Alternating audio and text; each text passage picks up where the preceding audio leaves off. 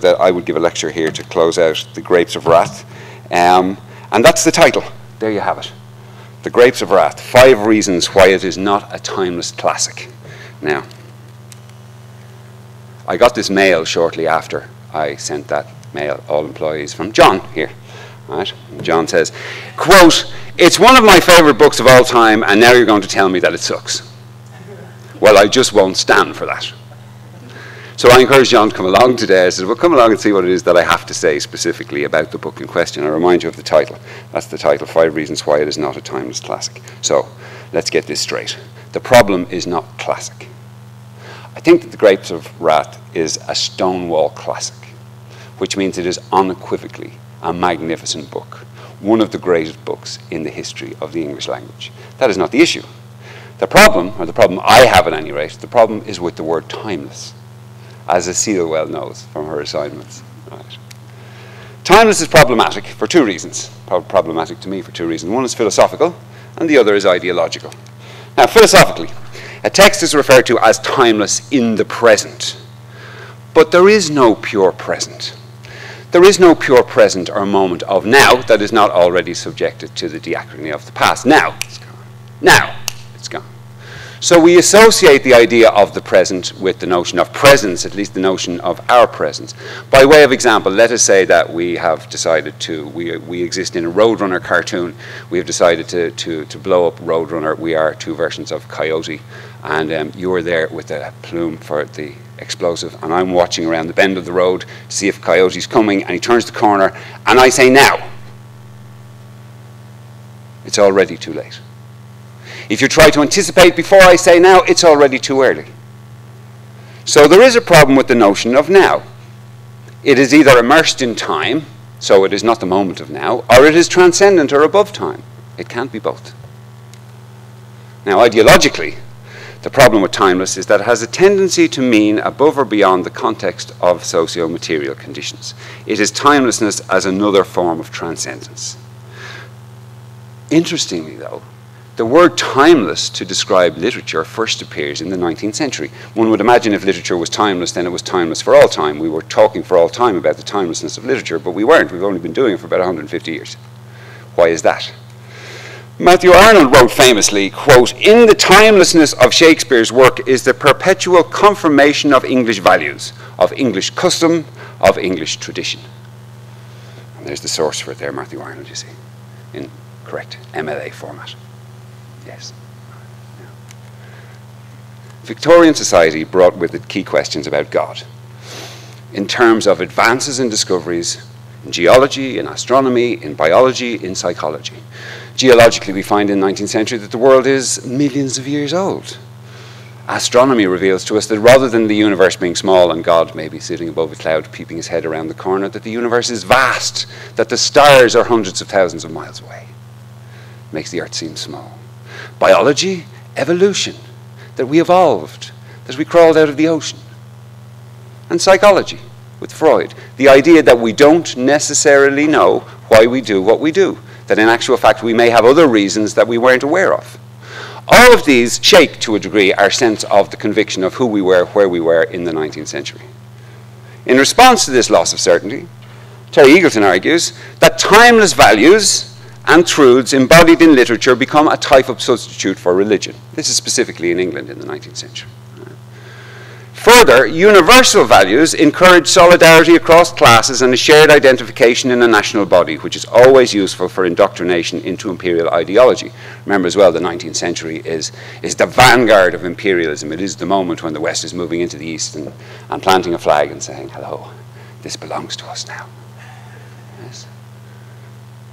And you see this, you see what Eagleton is talking about there, probably its most common and regular manifestation is in relation to sport where all of the differences in a society are, are put aside during the course of a World Cup and everyone from a nation is united behind the idea of the country and are one, unified.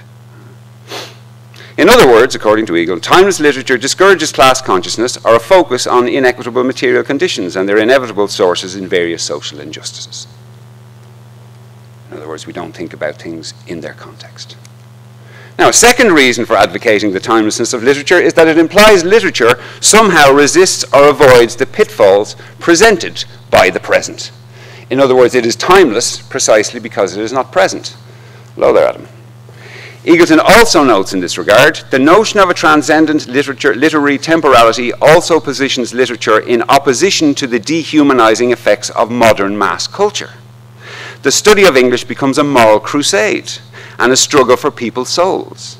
Such a view is deeply nostalgic and suspicious of, even hostile towards, popular culture such as film, pop jazz, and advertising. In other words, the idea that when we say something is timeless, we mean it's timeless kind of of the past, and therefore it is better than what is happening in the present. Now, if The Grapes of Wrath is a timeless work in this type of context, this suggests that the material and historical conditions that contextualize the story are irrelevant. The text is effectively depoliticized. It also suggests that the novel arrived to us in the present as a romantic ideal simultaneously pointing to a lost past, a past that was better than the present.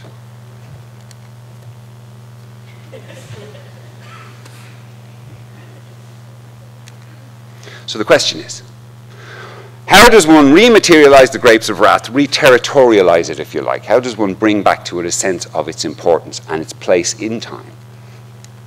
Answer. And note after answer, there is a question mark.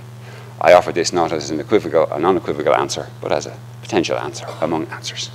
To argue that the Grapes of Wrath offers a vision, our version of time that is not only timely, and timely in the sense of of now, but because it is timely, of a now that is always changing, it is also simply and profoundly timeful. So I'm saying it's not timeless, it's timeful, it's full of time. Here's an iconic shot from the movie version of The Grapes of Wrath. Right? Henry Fonda looking rugged and handsome.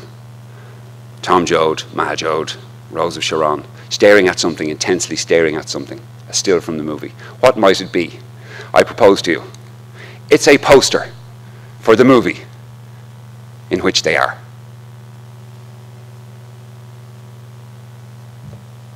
They're both monochromic shots, monochromic, monochromatic, black and white shots. Could be the same time. Could be the Joad car there behind the poster. Got the bus? But of course not. And yet I'm standing here now showing you a slide from the movie, which is based on the book, and a, a photograph of a poster for the movie and it's all happening at the same time. And yet the now is never now. This is a quote from Walter Benjamin that Reem is going to read for us.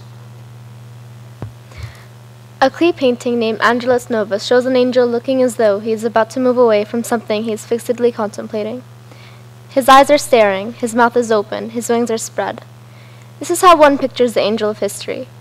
His face is turned toward the past. Where we, where we perceive a chain of events, he sees one single catastrophe which keeps piling wreckage and hurls it in front of his feet. The angel would like to stay, awaken the dead, and make whole what has been smashed. But a storm is blowing in from paradise. It has got caught in, the, in his wings with such a violence that the angel can no longer close them.